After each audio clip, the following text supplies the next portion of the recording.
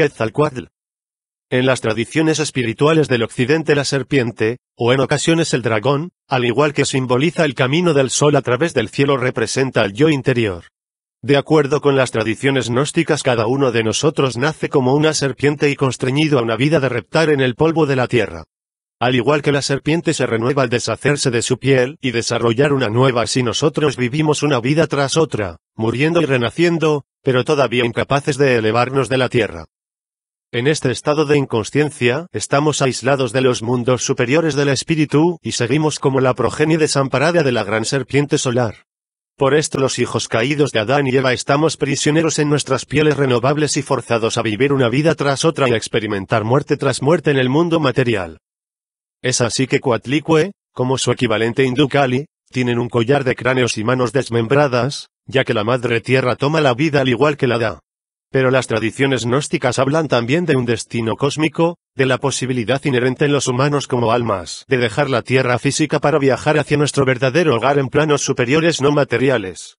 Esta es la esencia de las enseñanzas espirituales de todos los grandes maestros incluyendo a Jesús, Buda, Mahoma, y podemos presumir, el original Quetzalcoatl Kukulcán. Mas todos ellos enseñan, si leemos sus palabras con cuidado, que para obtener la libertad se requiere una transformación de nuestro ser. Si usamos otra metáfora, el humano ordinario vive como una oruga en la hoja de col de la vida. Ahí vive y muere miles de veces, sin percatarse siquiera de la posibilidad de un desarrollo mayor. Pero así como la oruga potencialmente puede ser transformada en una bella mariposa, del mismo modo los humanos cuentan con la posibilidad de una metamorfosis superior. No tenemos que permanecer en la etapa de la oruga de la vida para siempre, también podemos volvernos ángeles, aun cuando todavía vivamos en un cuerpo físico. La aplicación práctica de esta filosofía esotérica es el yoga implica elevar la energía de la serpiente por la columna vertebral y unirla con las fuerzas del águila espiritual en la cabeza. Hacer esto requiere un acto de autosacrificio supremo conforme la voluntad del individuo, la serpiente, es puesta en línea con la voluntad de Dios más grande manifestada por el águila. El individuo debe morir en forma bastante literal para sí mismo a fin de renacer y vincularse con la conciencia cósmica. Esto no es fácil, como sabrá cualquiera que haya estado implicado en un trabajo espiritual. Porque entre el aspirante a iniciado y el destino más grande está yo personal, y éste teme de manera mortal abandonar su identidad ilusoria.